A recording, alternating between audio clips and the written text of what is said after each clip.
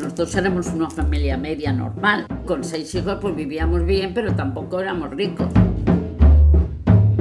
Era una vida normal con sus economías eh, en todos los aspectos. Nos gustaba vivir sencillamente, sin malgastar.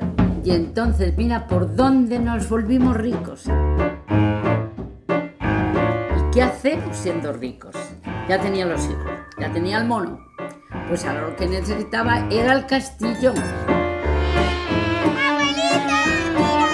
Este es mi padre. Sí.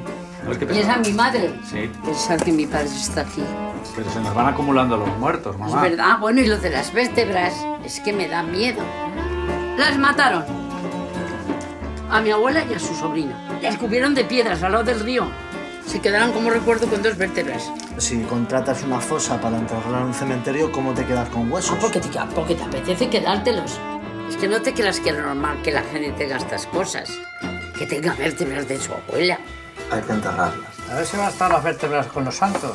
Todo parte del caos. Una familia numerosa con organización caótica. Eso no se ha visto nunca. Cuando me muera, antes de que me quemen, me pincháis con una aguja.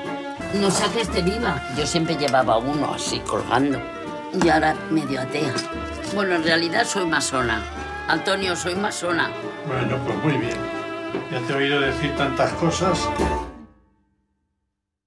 Pero ¿cómo va a salir en una película que yo me compré un castillo porque había heredado, porque yo era una familia normal y luego era súper rica? Pero ¿cómo vas a salir eso? Cualquiera que lo vea, que me conozca, dirá, pero bueno, es verdad. Como es verdad, dirán, pues es verdad. Pero no saben lo que ha ocurrido después.